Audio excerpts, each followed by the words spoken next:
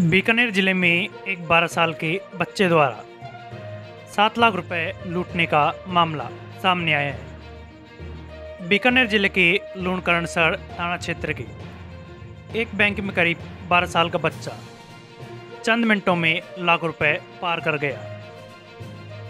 पैसों से भरा बैग गायब हुआ तो बैंक में अड़कम मच गया।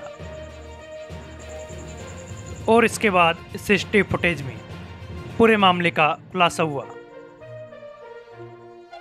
पुलिस ने बताया कि दोपहर बारह बजकर पैंतालीस मिनट पर मरुधरा ग्रामीण बैंक का कैशियर सात लाख रुपए बैग भरा लेकर बैंक पहुँचा था। मील बैग को काउंटर पर रखकर एक दो मिनट के लिए अंदर चला गया और इसके बाद लौटा तो बैग गायब मिला। उसने इसकी सूचना बैंक के कर्मचारियों को दी। पुलिस ने बताया कि चोरी के समय बैंक में स्टाफ सहित आठ दस लोग मौजूद थे और इसके बाद में आनंद फानन में सीसीटीवी कैमरे खंगाले गए, जहाँ एक छोटा बच्चा हाथ में बैग लेकर फटाफट बैंक से निकलता हुआ नज़र आया। और दूसरे फुटेज में दिखा कि बच्चे के साथ एक दूसरा युवक भी काउंटर के नज़दीक खड़ा था। ऐसे में पुलिस को शक है कि युवक भी इस वारदात में शामिल हो सकता है।